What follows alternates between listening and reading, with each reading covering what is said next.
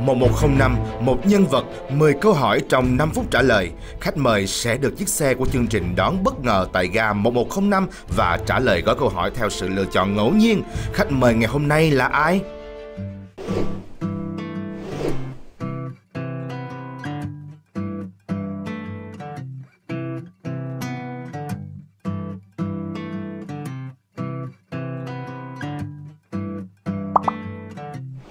Chào mừng Dương Khắc Linh đến với chương trình 1105 với ba bức hình phong cảnh sau đây. Hãy chọn một nơi mà bạn muốn đến nhất. Nó sẽ tương ứng với gói câu hỏi mà bạn sẽ phải trả lời.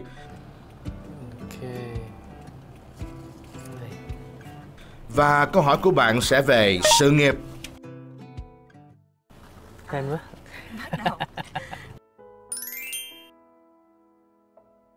Ờ, đến với âm nhạc là từ hồi 6 tuổi à, và thực ra là tại vì là ba mẹ cũng như là ba mẹ linh tự nhiên có một ngày là mua một cái piano để trong nhà.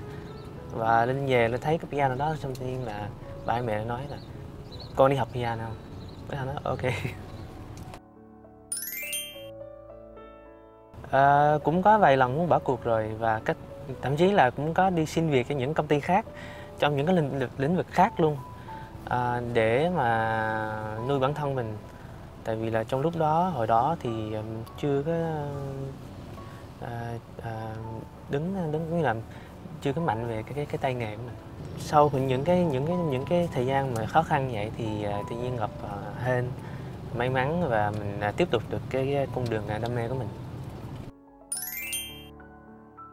À, có chứ tôi nghĩ là ai cũng có nhiều thất bại trong đời sống và những cái đó thì nó làm cho mình à, khôn ngoan hơn và mình à, chững chạc hơn.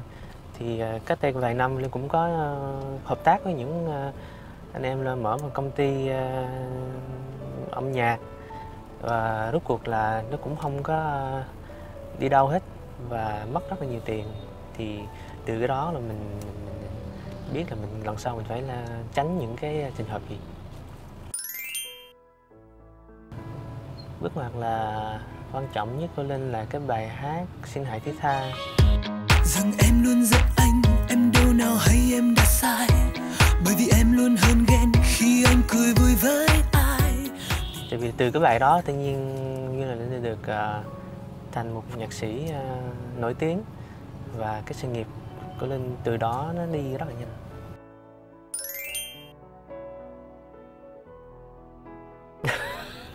trời nói ác gì vậy ông đang nghĩ là cũng có vài bài hit mà uh, từ cái thời mà xin hãy thứ tha lúc đó một cái hit thì nó sống lâu hơn và nó nó nó có cơ hội như là nó sống có thể mà nửa năm hoặc là kể kể cả một năm luôn.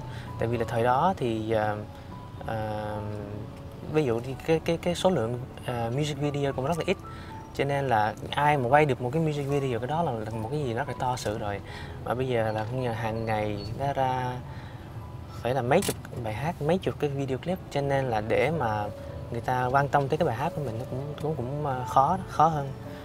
À, với lại coi như là bây giờ khán giả người quen à, cái số lượng bài hát nó nó ra hàng ngày hàng ngày hàng ngày. Cho nên là để mà mình yêu thích một bài hát nó cũng nó cũng khó hơn.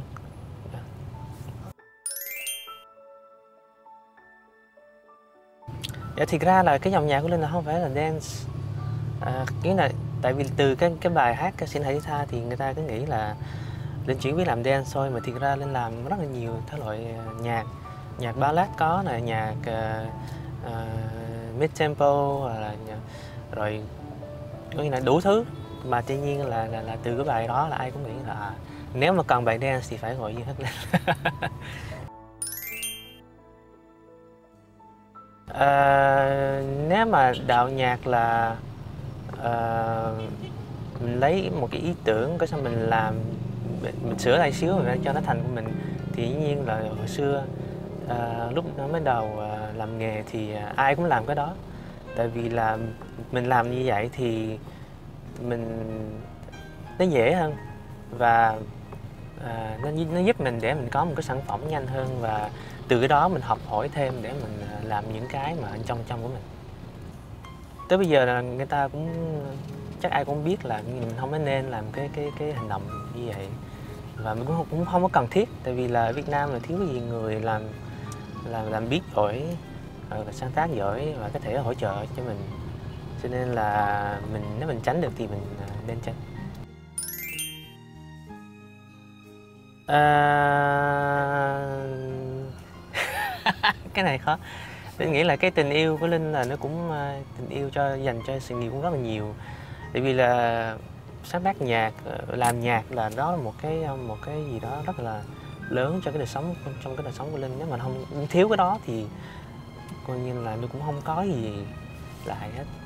Mà dĩ nhiên, để mà chọn một người người yêu và với sự nghiệp thì trên nguyên tắc mình phải chọn người Trang pháp ờ, sẽ hỗ trợ rất là nhiều luôn.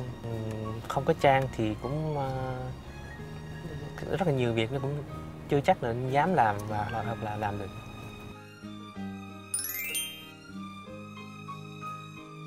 À, gia đình cũng uh, hài lòng với những cái mà mình đã làm được.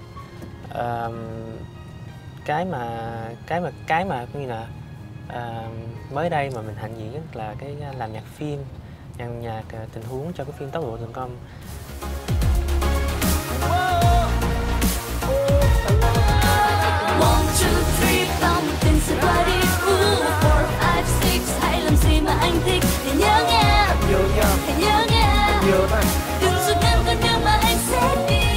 À, hy vọng là năm nay Linh sẽ làm được như là Linh được mời là được làm nhiều phim hơn.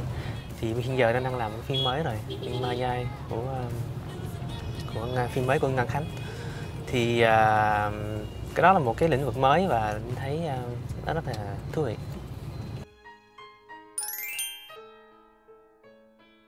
Năm năm sau một nhạc sĩ quốc tế. Mặc dù cái lúc uh, công việc có thể nó hơi khó khăn xíu mà cũng là phải cố gắng đi.